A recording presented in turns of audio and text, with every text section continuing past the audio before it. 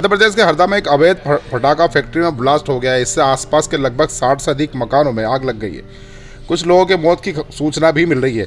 25 से अधिक घायलों को हरदा जिला अस्पताल लाया गया है। प्रशासन ने 100 से अधिक ज़्यादा घर खाली करवा लिए फैक्ट्री में लगातार धमाके हो रहे हैं। बताते चले कि फैक्ट्री मगरदा रोड पर बेरागढ़ गाँव में है। फैक्ट्री में मंगलवार सुबह जोरदार विस्फोट हुआ और भीषण आग लग गई। धमाका इतना तेज था कि पूरा शहर दहल गया।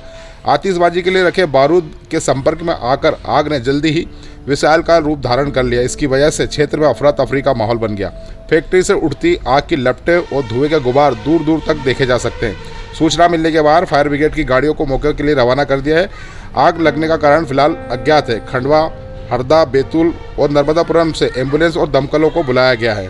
फ़िलहाल कलेक्टर ऋषि गर्ग एसपी संजीव कुमार, कंचन समेत पूरा प्रशासन मौके पर मौजूद है और आग पर काबू पाने के प्रयास किए जा रहे हैं। अचानक सुबह ब्लास्ट हुआ है और भीषण आग लगी है।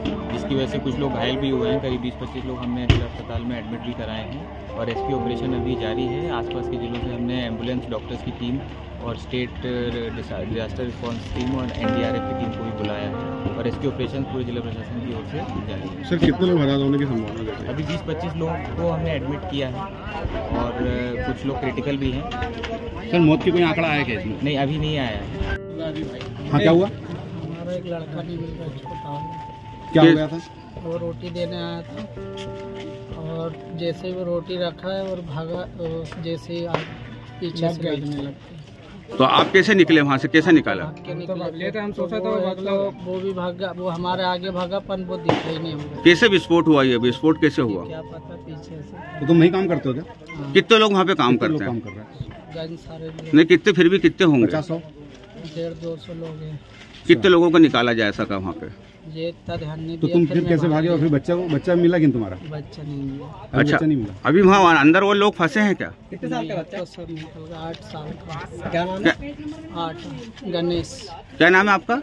मेरा नाम राजू है।